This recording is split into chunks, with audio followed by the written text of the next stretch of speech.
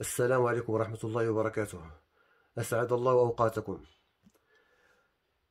يقول الله عز وجل وإن كان مكرهم لتزول منه الجبال. قرأ الإمام الكسائي رحمه الله بفتح اللام الأولى ورفع الثانية لتزول منه الجبال. وقرأ الجمهور بكسر اللام الأولى ونصب الثانية لتزول منه الجبال. يقول الإمام الشاطبي رحمه الله تعالى وفي لتزول الفتح وارفعه راشدا. ويقول الإمام ابن الجزري في الطيبة وافتح لتزول ارفع رمى فإن في قراءة الإمام الكسائي مخففة من الثقيلة واللام في لتزول هي الفارقة بينها وبين النافية والتقدير وإنه بمعنى أنهم لو مكروا بالجبال لزالت. قال أبو إسحاق وإن كان مكرهم يبلغ في الكيد إلى إزالة الجبال فإن الله ينصر دينه. فقراءة الكساء رحمه الله تصف مبالغة مكرهم العظيم وإن لم يكن جبل قط زال لمكرهم.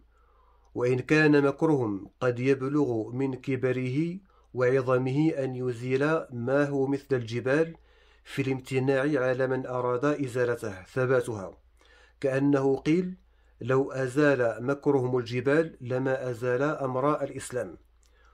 وأما توجيه قراءة الجمهور بكسر اللام ونصب الأخيرة إن بمعنى ما النافية. واللام في لتزول هي لام الجحود والفعل منصوب بأن مضمرة والمعنى وما كان مكرهم لتزول منه الجبال.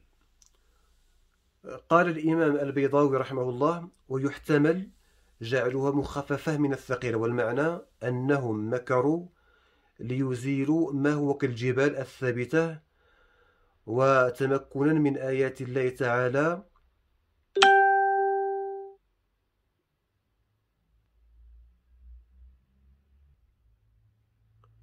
عفوا. وتمكنا من آيات الله تعالى وشرائعه. وقرئ في الشاذ وإن كاد مكرهم لتزور منه الجبال. وإن كاد مكرهم لتزور منه الجبال. بوضع كاد مكان كان. وهي قراءة ابن مسعود وأبي وابن عباس. وقرأ ابن مسعود رضي الله عنه وما كان مكرهم لتزول منه الجبال. والله أعلم.